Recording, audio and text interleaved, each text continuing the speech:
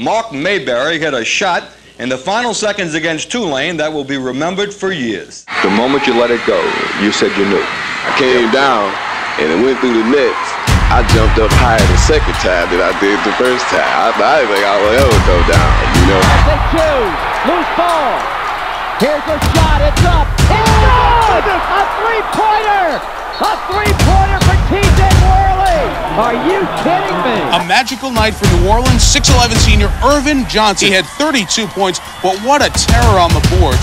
27 rebounds. That's a school record.